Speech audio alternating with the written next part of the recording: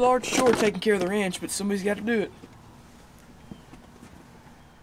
What's up guys, Pedro here, and this morning I'm going to show you my daily duties on Radiator Ranch. So the first thing I usually do when I get here is feed Ranch Kitty and Kitty B.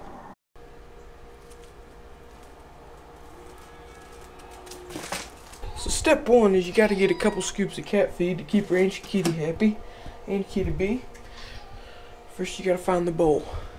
So it's always nice to get to come out and feed the animals whenever Dad's gone. I like helping out. It's good stuff. There you go, kitty cat. After that, I move to Lucas and Gypsy.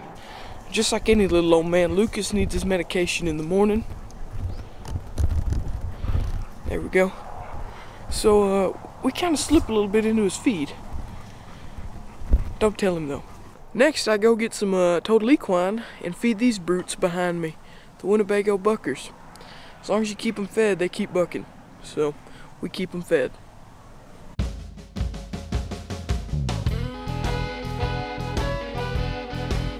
So the next thing I do is come over and feed the bulls. Good morning, boys. Are you hungry? Which is pretty fun, because I get to feed Baxter and Rickle and and it looks like today they got some friends. So, let's go feed. Now it's time for my favorite part of the day. Time to feed the calves. Get your feet off the table. gotta teach them manners when they're real young. So the calves are all fed. They're munching, eating on some some good quality feed. Now, it's time to go feed Booney. If you guys came to my channel from Dale's channel, then you'll know Boone. If not, then, uh, so that there behind me, that beautiful, beautiful pony, that's Boone. Boone's a good horse. He's in a lot of videos, and Dollar, sorry. That's Dollar.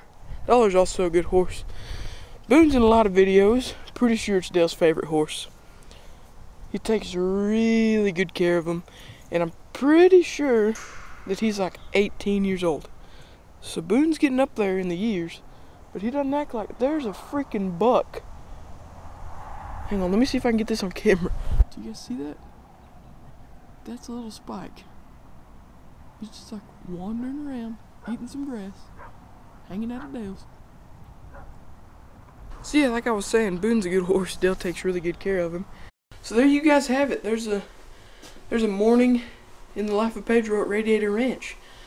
If you guys like this video, go ahead and leave a thumbs up. Comment in the comment section if you'd like to see more of it. And don't forget to share it with your friends so they can see what Pedro does in the mornings when I'm taking care of the ranch. So, I'm going to go home, get showered, go to church. Thank you guys so much for watching. And uh, we'll see you in the next one.